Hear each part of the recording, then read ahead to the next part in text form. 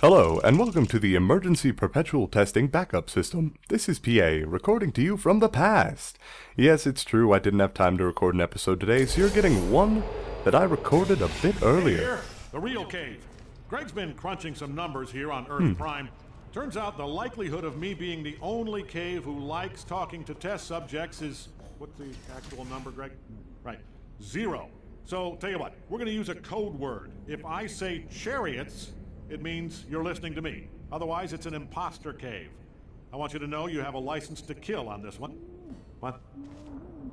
Uh, Greg says that might destroy the entire multiverse. Point is, use your own judgment. License to kill. Uh, fair enough, Cave. Thank you. Alright, this name, the name of this test chamber was Stop the Box, made by Mir. Oh. Let's, uh, yeah, let's stop that cube first thing. What did that do? Oh, that resummoned the cube on the other side. Alright, so, first things first, let's find out what our wonderful buttons here do. First one will take us to the other side. Alright, I'm okay with this. And what does the second do?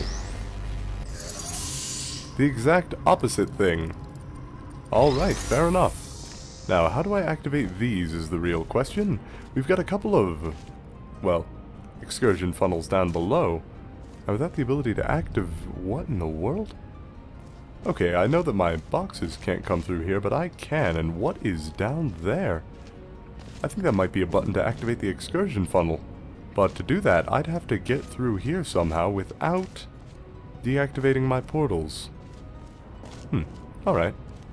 I can deal. Oh. Well, that's something. Not only do these deactivate that, they deactivate their associated portal. Hmm. Interesting. But not the other portal. Which means, how do I get a... Wait, how did I even fire a portal over there?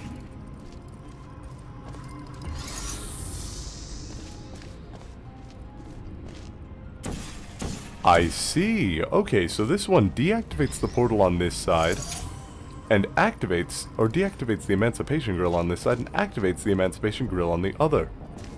So to be able to get across, I would need to... Oh dear. This, I, I have the feeling this is going to get complicated. Uh, okay, those uh, fields were kind of tearing me back and forth there for a second. That's not good. Can I travel in these freely? Okay, I don't know which one takes priority here. It appears to be the one going backwards. Oh, shit.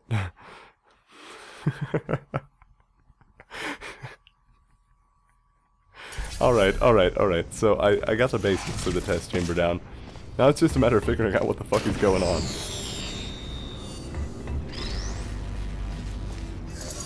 Okay, so excursion funnel 1 is down. And because that's not active, this is active. Good, but this is also active. I've... Wait, why? What deactivates those? Because when I went over there, that one wasn't active. Which would mean that the activation of the opposite field deactivates this? Or is it just that whenever this is up, that is down? No, that is definitely still up. Okay, so... Things I know. That cube deactivates this. That cube would activate this, and I think deactivates this. Oh, I am in trouble. Also, the excursion funnel is activated by each individual cube. Hmm. And the cubes will have to be off of here for me to be able to go up. I'm just wondering if there's anything else down there is really the issue. So let's try traveling in the excursion funnel when they're both on. Nope, nope, I got the wrong one. No, still the wrong one. Can I travel the other way? What determines which way I'm traveling in these excursion funnels? It seems to be luck, nothing else. Oh. Alright, so that worked. I have no idea why it worked, but it did. So now I've got a portal down there and a portal up here, which means if I go back... Maybe if I jump back into it about halfway. Huh? Nope. Come on. Huh? Hey! Well, to those who take risks go the rewards. And I can't get back across now. Shit. okay.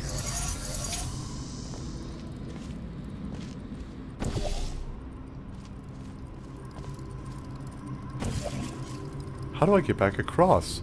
How in the world do I get back across? Whenever I'm on one of these platforms, the only way to get back across is to keep that button active, but that button is the only thing that allows me to get through. Wait, what does that button allow me to get through? The bottom area, I think? Create a portal on the bottom area, yeah.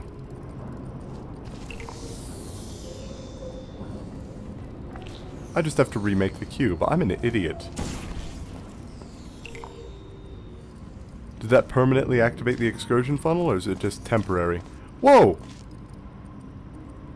Okay, so that just activated it. Because it puts it there. Oh my god. Alright, now back across. It's time to figure out some science.